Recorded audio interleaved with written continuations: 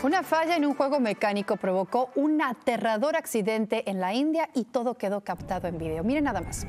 La rueda giratoria se desplomó desde 50 pies de altura, azotando fuertemente contra la base.